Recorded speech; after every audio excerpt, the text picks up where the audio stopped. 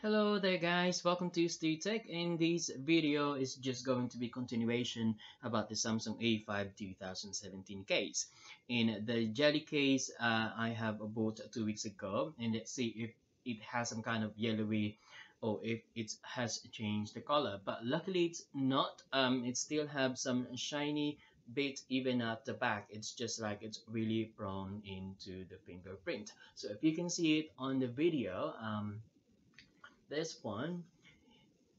Yeah so as you can see it still have the clear color. It doesn't have some kind of yellowy so far uh, but it might be maybe later when you use it like more like one or two months but at the moment it's still pretty good.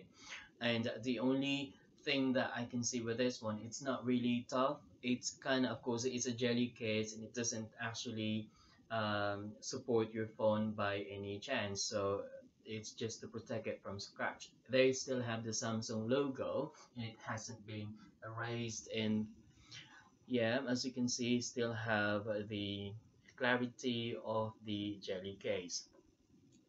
And of course another issue that I have found with this jelly case is that it's not really I would say, um, you know, when the dust is kind of easy to get into your phone, um, as you can see like that, and you can see sometimes it has some dust around it and then kind of oval and it doesn't look good at all. But yeah, and yeah, if you're happy in this video, just give me a shout. And if you have any questions, just uh, comment it on the comment section below and I'll try to answer that. Alright? So if you want to see more video it's on the right side of this video and then left side will be the link where will I mean where you can subscribe. Alright thank you and goodbye. Thank you for watching. Bye bye